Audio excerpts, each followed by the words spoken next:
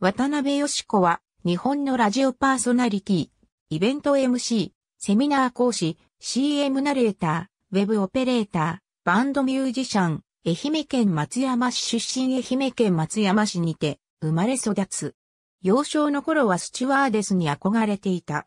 進学した西美高等学校では中学時代の恩師の勧めもあり放送部に所属。大学に進学、卒業後は生命保険会社に就職し、OL として勤務する傍ら、プライベートではガールズバンド、ザ・スリッパーズを組み、ギター兼リーダーとして演奏活動を行っていた。そんな折、バンドのライブに来た FM 愛媛の和田プロデューサーによって見出され、同局のワイド番組、ミュージックワンダーランドでパーソナリティとしてメディアデビューした。その後1998年に上京。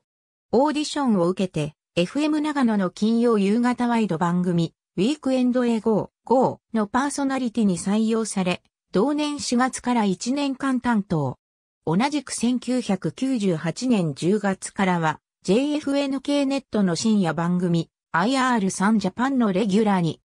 IR3 ジャパンでは、生放送であるにもかかわらず、オンエア中にリスナーとチャットでコミュニケートするなど、当時としては先進的な取り組みを積極的に採用。これらの番組運営姿勢が、リスナーから支持され固定ファンの獲得につながった。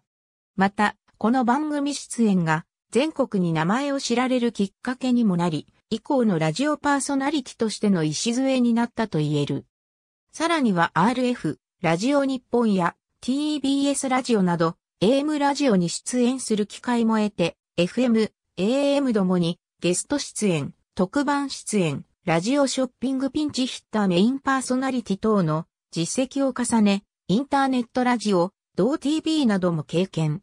ラジオパーソナリティとイベント MC を活動の両輪にしつつ、これに加えて、セミナー講師、講演会講師など放送メディア以外へも活躍の分野を広げている。2020年9月からは YouTube、同年10月からはツイートカースティングによるウェブ番組配信も開始した。ザ・スリッパーズの主な受賞歴に以下の2つがある。